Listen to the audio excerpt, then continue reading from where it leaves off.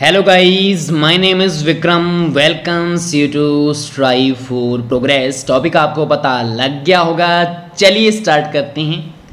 सबसे पहले आपको सांचोर नज़र आ रहा है, जो कि उसका आज वर्तमान नाम है, और राइट साइड में आपको मिल रहा है उसका प्राचीन नाम। देखो, सांचोर में आपको वर्ड मिल जाएगा सच। सच क्या होता है? ट्रुथ होता है, सच्चाई। और सच को हम सत्य भी तो बोलते हैं तो सत्य से क्या आ जाएगा? सत्यपुर। और सच किसमें है? सांचोर में है। सेकंड है जयपुर, जिसको पहले जय नगर कहते थे। वैसे तो ये सिंपल है। हमें ये पता है कि जयपुर किसने बसाया था? स्वाई जय सिंह ने। तो जय सिंह ने बसाया था तो उसका ही नगर कहते थे जय का नगर, जयपुर को। ठीक है? तीसरा है हनुमानगढ़। हनुमानगढ़ में आपको पता है बटनेर दुर्ग है। तो बटनेर दुर्ग आपको पता है, हनुमानगढ़ में है। प्राचीन में इसको बटनेर ही बोलते थे, हनुमानगढ़ को। फोर्थ है अजमेर। अजमेर से तो अजय मेरू सिंपली टिक लग जाएगा। फिफ्थ हमारा है डीग। डीग को कहते थे दीर्घवती। डीग जो भरतपुर में है, उसको दीर्घवती कहते थे पहले। इसको कैसे याद करना है? देखो, डीग से आ जाएगा डिग्गी। डिग्गी में आपको पता है हम पानी को स्टोर करते हैं। तो डिग्गी दीर्घ होनी चाहिए ताकि ज़्यादा से ज़्यादा उसमें पानी स्टोर हो जाए। जितनी बड़ी मतलब दीर्घ डिग्गी होगी, उतना पानी उसमें स्टोर हो सकता है, क्योंकि पानी की कमी हो रही है आगे के आगे। तो दीर्घ होनी चाहिए डिग्गी। तो यहाँ से दीर्घ से दीर्घवती टिक लग जाएगा। सिक्स हमारा है नागौर, जिसको नाग दुर्ग वह नागाना कहते थे। अब नागौर में आपको नाग मिल रहा है, नागदुर्ग में भी नाग मिल रहा है और नागाना में भी नाग आपको मिल जाएगा तो टिक लग जाएगा। सेवंथ है रामनगर, जिसको पहले गंगानगर कहते थे। अब आपने ये मूवी देखी होगी, राम तेरी गंगा मैली। तो राम से रामनगर और गंगा से गंगानगर, टिक लग जाएगा। एट्थ है जालरा पाटन ब्रज नगर देखो जालरा पाटन में आपको मिल रहा है जालर। और जालर किसके ऊपर बांधनी है हमने? ब्रिज के ऊपर बांधनी है। ब्रिज के ऊपर जालर बाँध देंगे तो वह लहराएगी और अच्छी लगेगी। तो ब्रिज के ऊपर हमने क्या करनी है? जालर बांधनी है। तो ब्रिज से आ जाएगा ब्रिज नगर बूंदी, देखो, बूंदी यहाँ पे मिल रहा है और वृंदावती में भी आपको क्या मिल रहा है? वृंद मिल रहा है। देखो, बूंदी में बंद और वृंद में वृंद। वंद मिल जाएगा तो वंद बंद। बूंदी में बंद है और वृंदावती में वंद है। तो बंद वंद से आपको टिक लग जाएगा कि बूंदी को वृंदावती कहते हैं। टेंथ हमारा है संग्रामपुरा, जिसको पहले सांगानेर कहते थे। देखो, आपको पता है राणा जो सांगा है, उसको हम संग्राम सिंह भी कहते हैं। तो संग्रामपुरा को हम सांगानेर भी तो कह सकते हैं। संग्राम किसका नाम था? राणा सांगा का। तो उसको सांगा नेर बना दिया। ऐसी इसकी टिक लग जाएगा। नेक्स्ट है अलवर। अलवर को कहते थे सालव प्रदेश। देखो, अलवर में आपको मिल रहा है लव।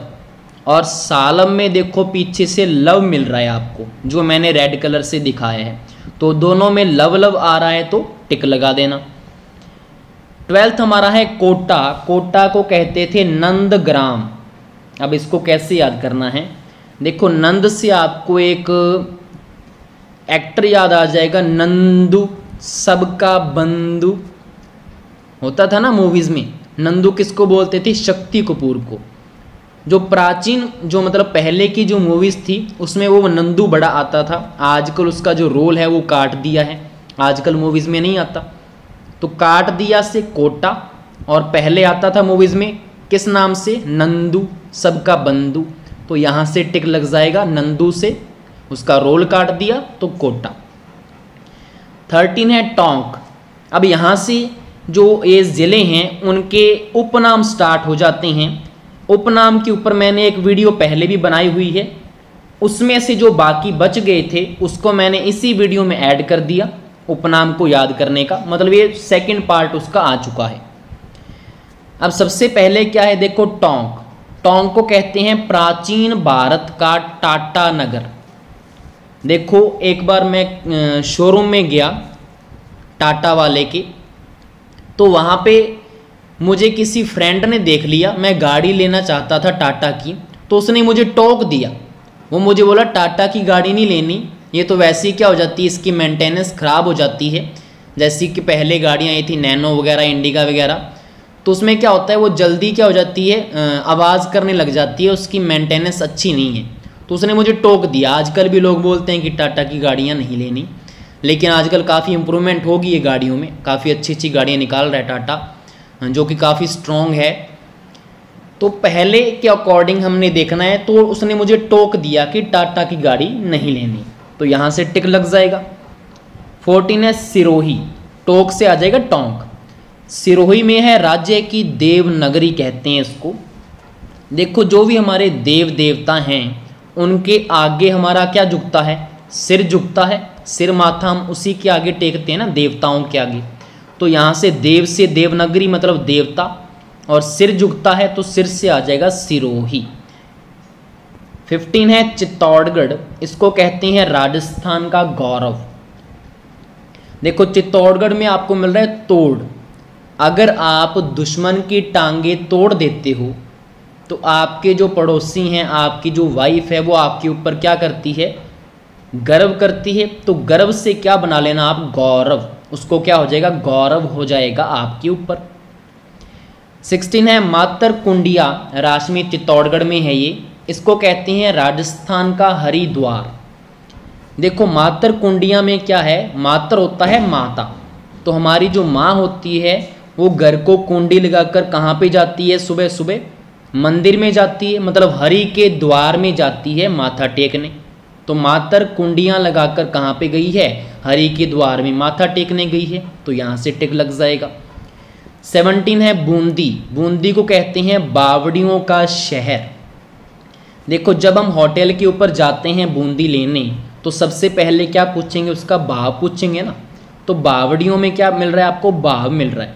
वैसे तो वैसे बालू वाला भाव होता है, लेकिन आपको टिक करने के लिए, याद करने के लिए इसको याद रखना है कि बूंदी का भाव पूछेंगे तो भाव से बावड़ियों का शहर। इसके बाद है एटीन, उदयपुर। राजस्थान की जिंक नगरी कहते हैं, और जिंक आपको पता है, जिंक को हम हिंदी में क्या कहते हैं? जस्ता कहते हैं। तो यहाँ पे जस्ते के लिए ट्रिक क्या बनेगी? देखो, ओ दया कर लो कुछ तो सस्ता कर लो, और नहीं तो जस्ता ही सस्ता कर लो। मतलब महँगाई आपको पता है, बाज़ार में बहुत ही ज़्यादा बढ़ रही है। तो हमने क्या बोला? ओ, दया कर लो, कुछ तो सस्ता कर लो। मतलब जो भी चीज़ पूछते हैं, वो महँगी है। तो मैं बोल रहा हूँ कि कुछ तो सस्ता कर लो। फिर मैंने बोला, और नहीं तो जस्ता ही सस्ता कर लो। तो उदया से उदया से तो आ जाएगा उदयपुर। और किस तो किसको सस्ता करना है? जस्ते को सस्ता कर लो। तो जस्ता सस्ता तो टिक लग जाएगा, आपको जिंक नगरी याद हो गई। नाइनटीन है, डीग बर्तपुर को कहते हैं फवारों की नगरी। अब डीग से हमने क्या देखना है? डिग्गी। और डिग्गी के ऊपर क्या लगा होता है? फवारा लगा हुआ है, वहाँ से पानी निकल रहा है। और फवारा क्या कर रहा है? फ़सल के अंदर उसको छिड़काव कर रहा है उसका। ट्वेंटीथ है, अजमेर। जिसको कहते हैं राजस्थान का मक्का और इसको राजस्थान का नाका भी कहते हैं। इसको कैसे याद करेंगे? देखो, मैं बाइक के ऊपर जा रहा था तो वहाँ पे पुलिस ने नाका लगा रखा था। तो उन्होंने मेरे क्या मारा? एक मुक्का मारा। तो मैंने घर पे आके बताया होगा। तो मैंने क्या बताया कि आज मेरे मुक्का मारा। तो उन्होंने पूछा, किसने? तो मैंने बोला, पुलिस ने नाका लगा हुआ था रोड के ऊपर। ऐसे बोलेंगे तो आज मेरे से क्या आ जाएगा अजमेर, मुक्का से आ जाएगा मक्का। और वहाँ पे क्या लगा था नाका जिसने मुक्का मारा? क्यों मारा? क्योंकि मेरे पास लाइसेंस नहीं था दिखाने को, मैं दिखा नहीं रहा था। तो यहाँ पे आपको याद हो जाएगा। ट्वेंटी वन है पुष्कर अजमेर, जिसको कहते हैं गुलाबों की नगरी। देखो, पुष्प से क्या आ जाएगा आपका? पुष्पा या पुष्प। पुष्प मतलब क्या होता है? फूल होता है। और फूल कौन सा है? गुलाब का फूल। तो गुलाबों की नगरी टिक लग गया। ट्वेंटी टू है अलवर। अलवर को कहते हैं राजस्थान का कश्मीर। काश मेरा भी कोई लवर होता। कई बार बोलते हैं ना, जब सिंगल लोग क्या बोलते हैं कि काश मेरा भी कोई लवर होता? जब दोनों, जो कपल्स हैं, किसी को देखते हैं हम तो हम बोलते हैं कि काश मेरा भी कोई लवर होता। तो काश मेरा काश मेरा से कश्मीर लवर होता से अलवर में देखो लवर मिल रहा है आपको। लास्ट के जो तीन हैं वो। ट्वेंटी थ्री है बिवाड़ी अलवर। इसको कहते हैं राजस्थान का आधुनिक मैनचेस्टर अब देखो यहाँ पे क्या है। आधुनिक मतलब मॉडर्न मैनचेस्टर क्या होता है? वस्त्र नगरी। तो मॉडर्न कपड़े खरीद कर हम किसको देते हैं? अपने लवर को ही देते हैं। तो अलवर तो आपको याद हो गया मतलब अलवर में कोई जगह है। अब अगर वो मॉडर्न कपड़े मांगेगी हमारी गर्लफ्रेंड तो हम उसको क्या बोलेंगे पहले? इसका भाव तो देख ले, इसका प्राइस तो देख ले, कितना महँगा है, तूने मॉडर्न कपड़े पहने हैं। जहर खाने को मेरे पास पैसे नहीं है आ जाती हैं बार बार ऐसे बोलेंगे ना? तो भाव से क्या याद रखना है? बिवाड़ी। बिवाड़ी में आपको भाव मिल जाएगा। और किसके साथ बात हो रही है? लवर के साथ। वो क्या बोल रही है कि मॉडर्न कपड़े खरीदने हैं? वो बोला कि भाव तो देख ले इसका। तो यहाँ से आपका टिक लग जाएगा। ट्वेंटी फोर है, सांबर जयपुर में है जो, उसको कहते हैं सॉल्ट सिटी आपको पता है, सांबर जो है वो एक डिश भी होती है खाने वाली। तो उसमें क्या था, नमक कम था तो मैंने उसमें साल्ट डाल दिया तो यहाँ से टिक लग गया। नेक्स्ट है, ट्वेंटी फाइव जालरा पाटन झालावाड़ में जो है, इसको कहते हैं घंटियों का नगर। देखो जालरा पाटन में एंड में आपको क्या मिल रहा है, टन। और टन की आवाज़ कब आती है, जब घंटी बजती है ना, स्कूल वाली? स्कूल में जब घंटी बजती थी तो क्या आवाज़ आती थी? टन। तो टन किसमें आ रहा है? जालरा पाटन में, और घंटियों का नगर। ट्वेंटी सिक्स है बांसवाड़ा, आदिवासियों का शहर। बाँस किसमें से आती है? आदिवासी लोगों में जो जंगलों में रहते हैं, नहाते हैं। ऐसे याद करना है इसको, ठीक है? ट्वेंटी सेवन है बाटाडू का कुआँ, जो कि बाड़मेर में है। इसको कहते हैं रेगिस्तान का जल महल अब देखो, कुआँ है। तो कुएँ में जल ही होगा और कुछ तो होगा नहीं तो टिक लग जाएगा मतलब जल महल है ये। ट्वेंटी एट है नाकोड़ा बाड़मेर, राज्य का मेवा नगर। तो मैं मेवे लेके आया और अपने फ्रेंड से पूछा मैंने कि मेवे मीठे हैं ना? वो बोला, ना, कोड़े हैं। वो क्या बोला, ना, कौड़े हैं। कई बार आपने देखा होगा, जैसे बादाम वगैरह हैं, वो क्या निकल जाते हैं? कड़वे निकलते हैं। तो वो बोला, ना, कोड़े हैं। तो ना कोड़ा से ना कोड़ा याद रहेगा। मेवों की बात हो रही है तो मेवा नगर हो गया। ट्वेंटी नाइन है प्रतापगढ़, इसको कहते हैं राज्य की राधा नगरी। देखो, आपको पता है जो दारा सिंह था, वो काफ़ी प्रतापी था, ठीक है? तो दारा तो आपके पास है नहीं, दारा को उल्टा कर लो, दा पीछे कर दो, रा आगे कर दो तो क्या बन जाएगा राधा? तो राधा नगरी, प्रतापगढ़, दारा प्रतापी था तो टिक लग जाएगा। थर्टी है हमारा बारह बारह को कहते हैं वरा नगरी। देखो, बारह वराहा एक जैसा सा साउंड आ रहा है, बारह वरा बारह वरा। तो बारह वरा नगरी टिक लग जाएगा सीधा ही। थर्टी वन है हमारा करौली, जिसको कहते हैं डांग की रानी। देखो, करौली में आपको मिल रहा है कि क्यों तूने रोला मचा रखा है? कई बार बोलते हैं ना, का रोला मचा रखा है तूने? डांग है मेरे पास, एक लगाऊँगा तेरी। ठीक है तो क्यों तूने रोला मचा रखा है? रोला क्या होता है? नॉइस ठीक है? तो का रोली? क्यों रोला मचा रखा है? डांग है मेरे पास, लगाऊँ क्या तेरे को? ठीक है? तो यहाँ पे डांग की रानी टिक लग जाएगा। थर्टी टू है हमारा धौलपुर रेड डायमंड तो मेरे पास एक डायमंड पड़ा तो जैसे ही मैंने बाहर निकाला, अपने दोस्त को दिखाया तो वो बोला रेड कैसे हुआ पड़ा है? तो मैंने उसको बोला कि, मैंने धोया ही नहीं इसको कभी। धोता तो मैं हूँ नहीं तो दौले तो वो क्या बोला मुझे? इसको धोले डायमंड हुए, वो चमकना तो चाहिए ना रेड सा हुआ पड़ा है। मिट्टी सी लगी पड़ी है, मैला हुआ पड़ा है रेड सा हुआ पड़ा है। तो इसको धोले इसको अच्छे से। तो धोले से क्या आ जाएगा? धौलपुर आ जाएगा। थर्टी थ्री है, मचकुंड, धौलपुर।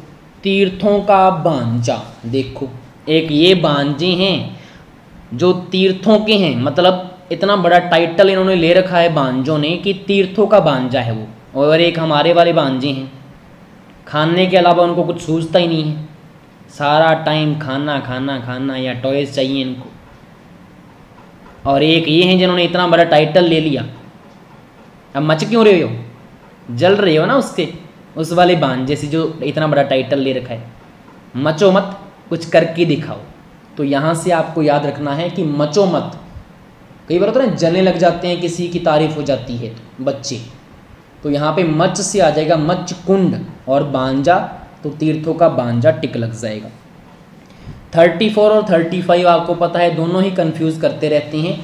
दोनों जो चीज़ें हैं वो राजसमंद में है, हल्दी घाटी और दिवेर घाटी।